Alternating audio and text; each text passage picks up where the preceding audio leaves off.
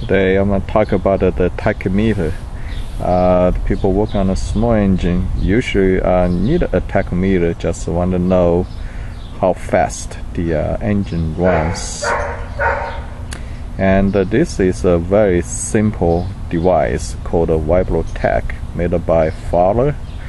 Uh, even though today's tachometer you got laser, get all kind of things, but this one is simple to use no battery and uh, don't tell you exactly um, to the uh, single digit but you really don't know don't have to know.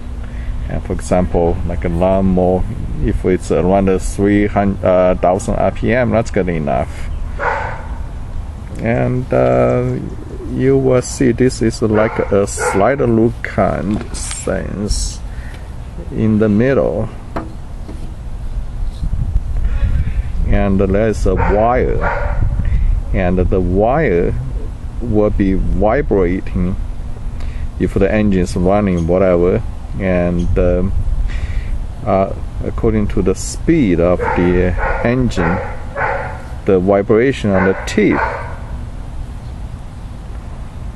will be maximum when it's matching to the engine speed. It's called a isochronous um, so that's why in the back here uh, you can it's out of focus maybe. And on the top here there's some numbers. So the numbers show here will give you roughly idea what's the RPM here. Uh, it's very simple to use. And um,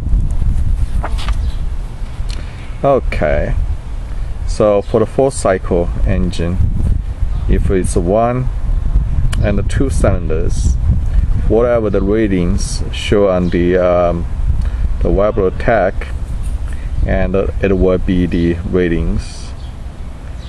If more than two uh, cylinders and the rating will be the cylinder divided by two times readings.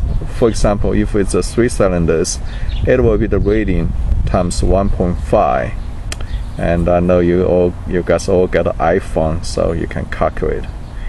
And for the two cycle engine, the reading will be uh, the reading divided by how many cylinders. If it's a single cylinder, and uh, that's mean one, then the reading will be the ratings if it's a, a two-cylinder two-cycle engine the ratings uh, need to divide by two then that would be the RPM for you. And uh, how to use it? Um, basically it's a very simple sense. that's a fun lawnmower I know that um, this is a lawn boy. The engine is not running. Basically you just uh, um, attached to uh, the tachometer against the engine when engine is running and uh, the vibration will cause the, the wire vibrate okay? And uh, the vibrate and you adjust the, the sliding rule here.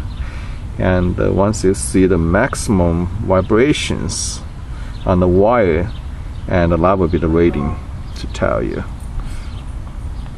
hope uh, the information helps